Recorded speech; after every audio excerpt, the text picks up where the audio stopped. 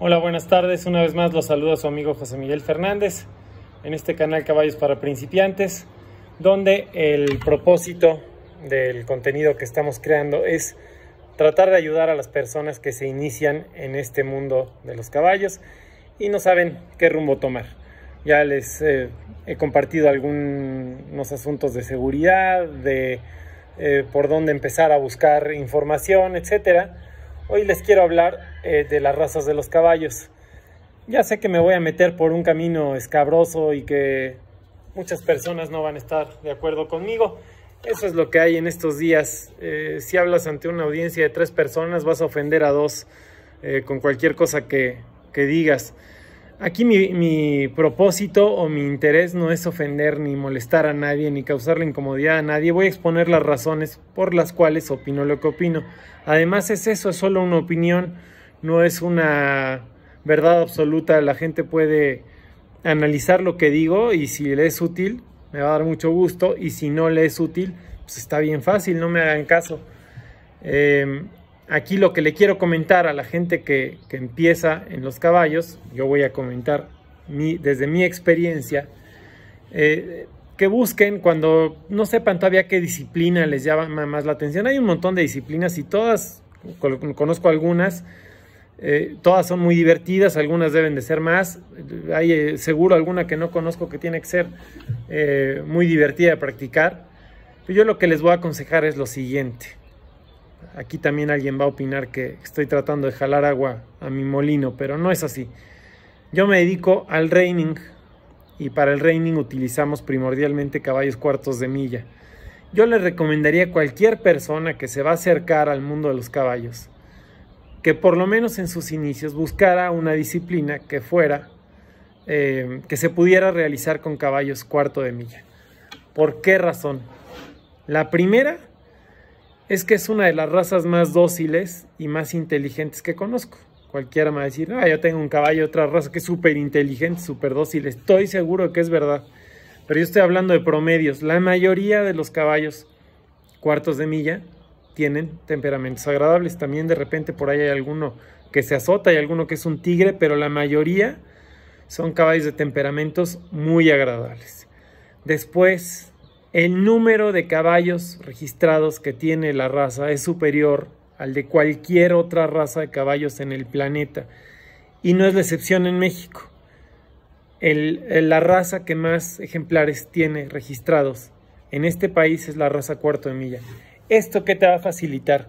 Hay muchos más ejemplares, hay un rango de precios mucho más alto, hay razas que por el poco volumen de animales que hay en México, todos los que hay, hasta los malos, son caros porque fueron importados de Europa o de Asia o de otros países o eh, son difíciles de conseguir.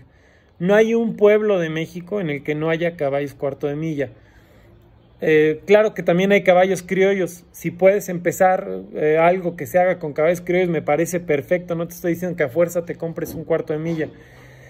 pero si ya estás en ese punto en el que ya decidiste que vas a empezar en algo, una disciplina, si puedes, te va a ser mucho más fácil si escoges una disciplina en la que se utilicen cuartos de milla. Y cuando vayas a comprar también tu primer caballo, va a ser más fácil que encuentres uno, va a ser más fácil que encuentres uno dentro de tu presupuesto y que cumpla con tus especificaciones. Por el solo hecho de que es eh, la raza más común. Eh, si te buscas un deporte que nada más se practica en Rusia, y que nada más se practica con una raza que es autóctona de este país, pues va a ser un problema, va a ser una pesadilla para ti conseguir los caballos, importarlos va a ser carísimo, el equipo aquí no lo vas a encontrar, es eh, está remando contra corriente, lo dije en alguno de mis videos anteriores, es como si estás en Argentina y me estás escuchando y tú en Argentina dices, no, pues yo quiero ser charro, híjole, pues vas a batallar bastante. Primero te vas a tener que hacer tu propio lienzo, luego vas a tener que venir aquí a aprender, te vas a tener que venir aquí a hacer tu ropa y tus monturas, vas a batallar bastante. Y eso puede hacer que pierdas la afición y el interés a la mitad del camino. Entonces aquí si haces cualquier disciplina relacionada con el cuarto de milla, es más fácil que cerca de donde vivas encuentres un instructor, una arena, un lienzo, una pista donde se practique algún deporte de este tipo. Eh, si necesitas una montura, por ejemplo, las sillas charras, En cualquier parte del país vas a poder encontrar. Eh, si necesitas una montura tejana, en México se fabrican muy buenas monturas tejanas en el norte, en el Bajío.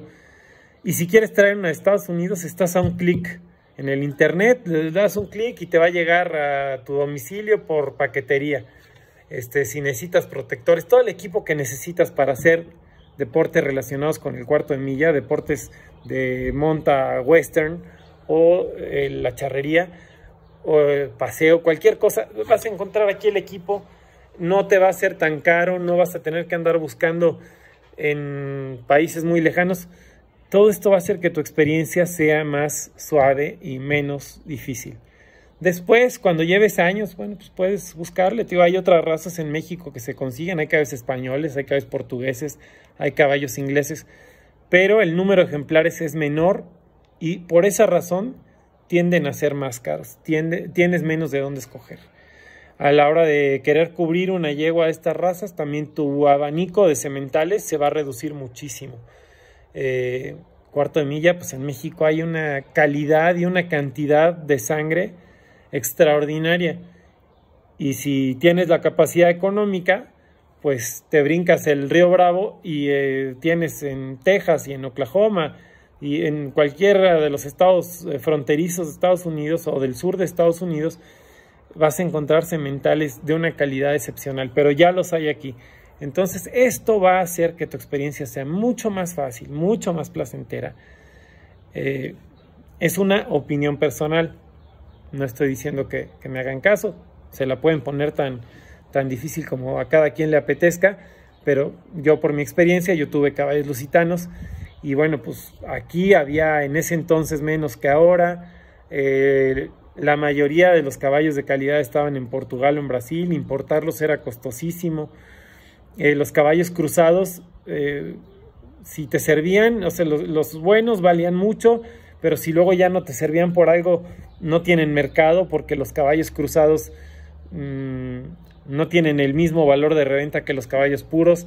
El equipo era dificilísimo de conseguir. Entonces me pasé 15 o 20 años con mucho gusto y los disfruté bastante, pero remando en contra de la corriente. Y ahora que tengo 6 años en esto, pues es como estar sobre mantequilla. Eh, aquí en el pueblo donde yo estoy, si necesitara un caballo, hay quien tenga caballo siempre a la venta. Si necesitara un potrillo para cubrir una yegua mía, hay con quien. Este, si necesito aprender al azar aquí en el pueblo donde estoy, hay quien me enseñe. Entonces es muy fácil. Y otra cosa, la ropa que necesitas utilizar para las disciplinas que se hacen con cuarto de milla, pues es como estás vestido hoy, como te vistes diario, bueno, como nos vestimos la mayoría de los mexicanos, con unos pantalones de mezclilla, una camisa, este, y una gorra ya para competir, pues te la cambias y te compras un sombrero. Eh, también en casi todos los pueblos de este país puedes comprarte un sombrero de, palma, ¿no? Así que si quieren no batallar mucho, les recomiendo que le busquen por el lado de, de las disciplinas que son afines a la raza cuarto de milla.